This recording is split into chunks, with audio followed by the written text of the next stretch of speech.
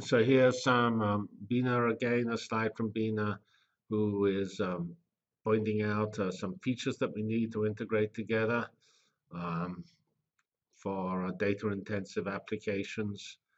Um, and it's actually a mix of data sources and technology here. So we we know that social networking sites like Facebook are an incredibly rich source of uh, data. In fact, uh, um, Facebook announced a new graph search algorithm for uh, adding value to their to their um,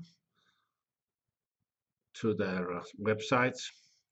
Uh, next topic here is mashups. And mashups are very important. They're sometimes called workflow, and um, they basically uh, are a way of uh, taking different services. Remember, services are transformation. They're the filters that take data from one form to another form. And so you have multiple services, you join them together, and you get a new service. And there is a very famous website, programmableweb.com, which has lots and lots of mashups there. And so mashups are very important. And intrinsic to the big data revolution is the use of mashups or using um, services together to get uh, new results. The interface to all of this is portals. And um, an interesting, there are some important technologies like wikis. Wikis allow you to collaborate on uh, generating data and um, they're not, and so they're just one source of big data or one source of documenting collaborative work on big data. And we obviously have on, on the internet many media sharing sites which uh, like YouTube and things, which have enormous amounts of data associated with them. They're part of the big data revolution. Online gaming is a good example of um, of the explosion. Biology and uh, space science, obviously, are fields that have uh, a lot of uh, data associated with them. Actually, the space is an example where probably if it's really space, then it comes from uh, Mars or the moon, because we, especially from Mars, the uh, uh, communication bandwidth is very small, you will not find uh, petabytes of data coming from Mars.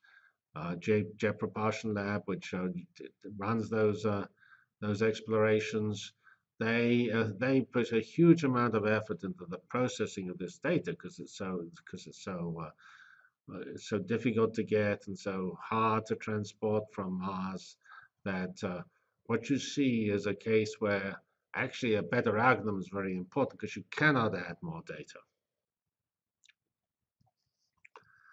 Um, so here's my uh, my list of possible types of uh, data deluge applications, which effectively we've gone through these examples. We started off with the traditional business transaction data, like stock market data and credit card data. Um, we have interaction data from social networking sites like LinkedIn and Facebook.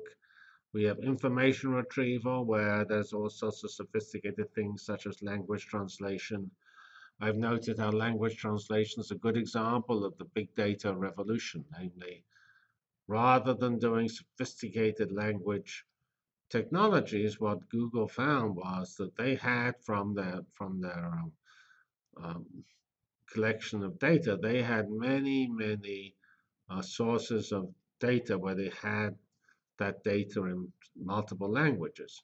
So they could do a sort of lookup form of translation where they learned from these um, existing translations how to translate new data. So that, again, is a good example of uh, the impact of the data deluge. Because you collect it together in one place, namely the Google Archives uh, and obviously done with other people's archives, uh, multiple um, documents in multiple, which each of which existed in multiple languages, a different approach to language translation was possible.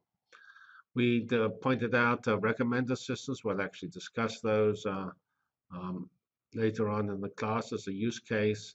There was the example of the the, the uh, of the Walmart uh, scientists who actually uh, taught the recommender systems in a in a class and how the that um, the use of more data was better than the bigger algorithm. So recommender systems are important. They span from Netflix to Career Builder. and other than monster.com where where you recommended systems cover matching users to movies to employers to employees or friends to to to, to people um, linkedin matches uh, uh, matches your contacts to, to, to you and tells you when you have when you should uh, or actually Facebook of course does the same. They suggest friends so friends matching is an example of a recommender system. And of course e-commerce sites like Amazon make huge use of recommender systems to try to recommend to you what you should buy Uh, we have marketing information this is optimizing pricing or optimizing store placement that is changing the operation of supermarkets. We discussed the Internet of Things, so that's another important example, pervasive sensors, intelligent everything.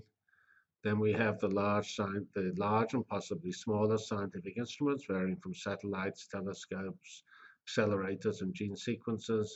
And there is an area which is sort of not necessarily distinct because it uses some of the same um, uh, techniques and systems as the previous commercial and academic examples, the military obviously has important uses of, of sensors and satellites in the data deluge.